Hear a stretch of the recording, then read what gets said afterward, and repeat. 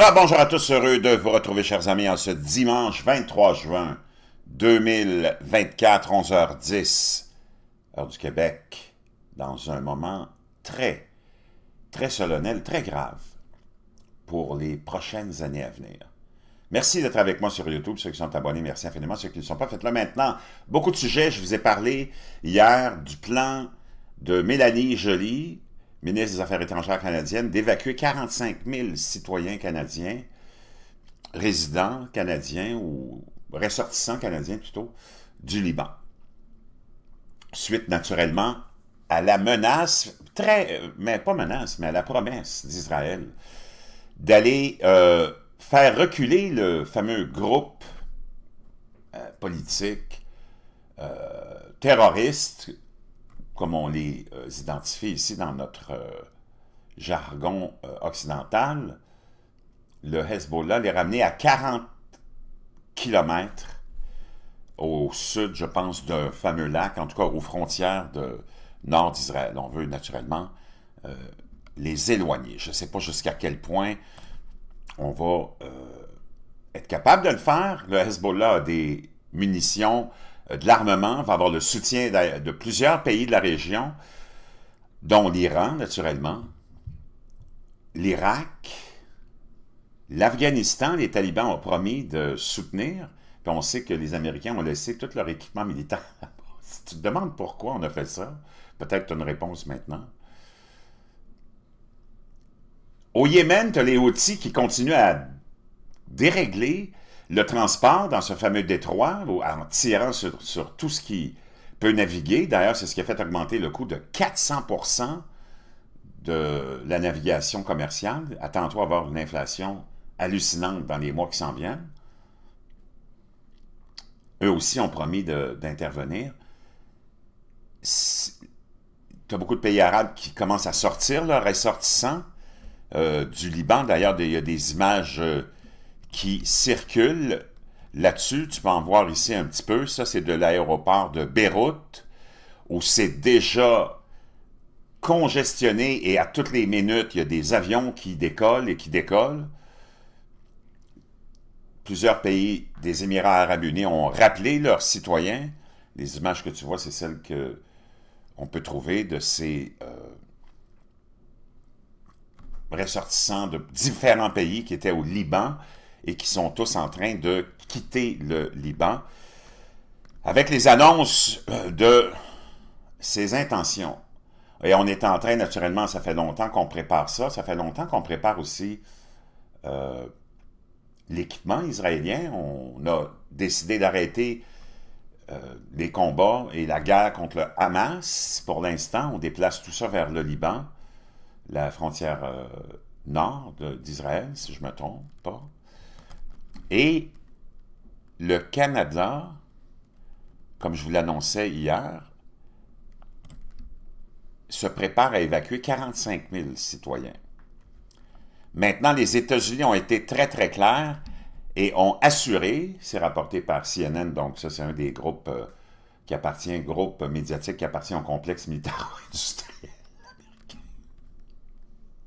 Donc tu peux te fier sur eux. Les États-Unis offrent cette semaine des assurances à Israël en cas de guerre totale avec le Hezbollah. On a vu comment on marchait sur des œufs du côté des Américains euh, vers la fin de la guerre avec euh, le Hamas, qui n'est pas terminé, mais qu'on veut maintenant, semble mettre un stop dessus.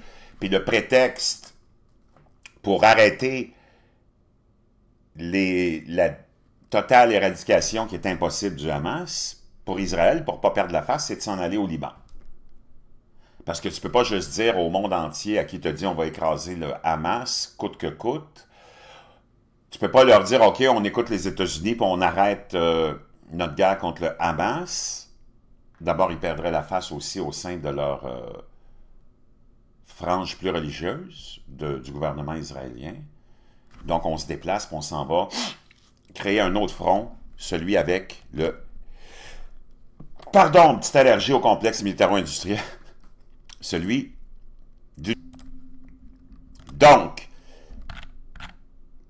des hauts responsables américains ont rassuré une délégation de hauts responsables israéliens, hein, c'est toujours entre hauts responsables, En visite à Washington cette semaine que si une guerre totale devait éclater à la frontière nord d'Israël, entre Israël et le Hezbollah, l'administration Biden est tout à fait prête à soutenir son allié, selon un haut fonctionnaire de l'administration. Ces assurances en personne sont intervenues alors qu'une augmentation des attaques transfrontalières ces dernières semaines entre Israël et le groupe euh, Hezbollah, soutenu par l'Iran, a intensifié les inquiétudes quant à l'éventuel déclenchement d'un autre conflit à part entière au Moyen-Orient. Et également, en tant que premier ministre israélien, Benjamin Netanyahu a publiquement accusé les États-Unis de refuser des armes et des munitions à son pays, déclenchant ainsi des échanges tendus entre les responsables israéliens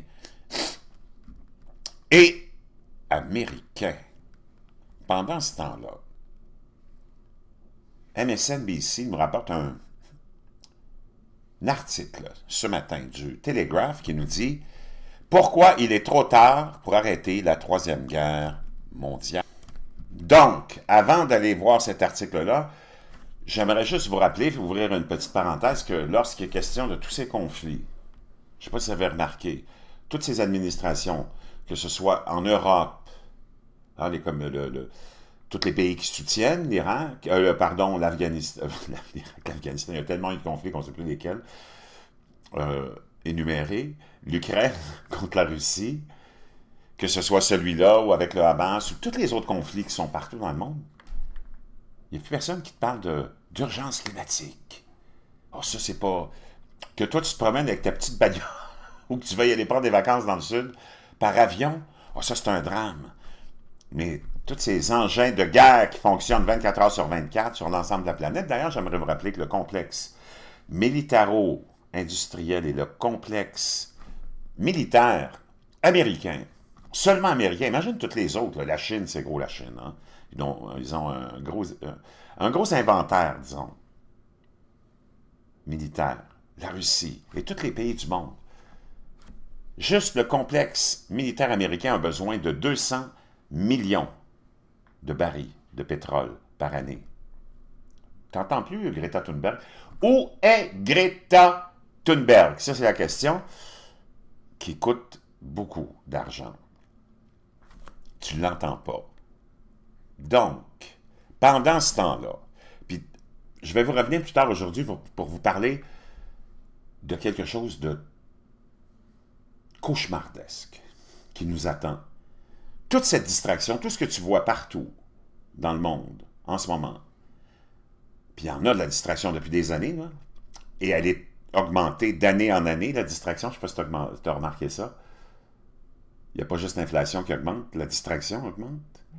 C'est pour cacher ce qui s'en vient. Ce qui s'en vient, là, je te donne juste un indice de ce que je vais te parler un petit peu plus tard aujourd'hui, parce que j'ai la chance aujourd'hui de commencer seulement à 5 heures. Habituellement, le dimanche, tous ceux qui me connaissent, vous le savez, je suis serveur. Le dimanche, c'est ma grosse journée. Je fais habituellement de 10 heures le matin à 10 heures le soir, mais là, j'ai pris congé ce matin parce que j'avais des obligations. Donc, ça va me donner plus de temps pour me consacrer à ce que je veux vous partager, et c'est C40. Je vous donne juste ça comme indication de ce que je veux vous parler. C40. Tu peux même pas imaginer ce qui t'attend. Parce qu'il faut que tu comprennes que ce qui t'attend, c'est pas toi qui le décide. Ce qui nous attend toujours, c'est jamais nous qui, nous qui le décidons. Quand on dit que tu es en démocratie, c'est juste un, une opération marketing pour te donner l'illusion que c'est toi qui décides de ta destinée, mais une fois que tu as élu qui que ce soit, puis c'est ça qui est important de comprendre, quand tu es mis en place, puis quand ils arrivent en place, quand ils s'assoient sur leur siège, attitré, tu décides plus de rien. C'est eux qui ont tout entre les mains et qui décident de tout. Tu n'es pas consulté quand tu t'en vas en gare, tu n'es pas consulté quand tu t'en Il y a ceci qui arrive quand il y a ceci qui, cela qui arrive ou quoi que ce soit d'autre. Tu n'as pas été consulté pendant la pandémie, tu n'es jamais consulté. Tu n'es jamais consulté pour quoi que ce soit. C'est un cirque. C'est un écran de fumée, puis je ne comprends pas que ça fonctionne encore, mais ça fonctionne encore. Pendant ce temps-là, pendant qu'on est en complet effondrement programmé de notre économie, de la classe moyenne qui est en train d'être euh, éradiquée, ben, le Télégraphe nous dit pourquoi il est trop tard pour arrêter la Troisième Guerre mondiale. Imaginez un, instant que le gouvernement iranien annonce qu'il a développé une bombe nucléaire et menace de l'utiliser contre Israël. Les États-Unis réagissent par la menace d'une intervention militaire, comme ils l'ont fait en 91 et 2003 en Irak. On se rappellera de ce mensonge fabriqué de toutes pièces. Encore là, tu n'as pas été consulté. Tu n'es jamais consulté. C'est toujours des hauts responsables, comme on l'a vu. Regarde, dans l'article de CNN que je te rapporte. Des hauts responsables américains ont rassuré une délégation de hauts responsables.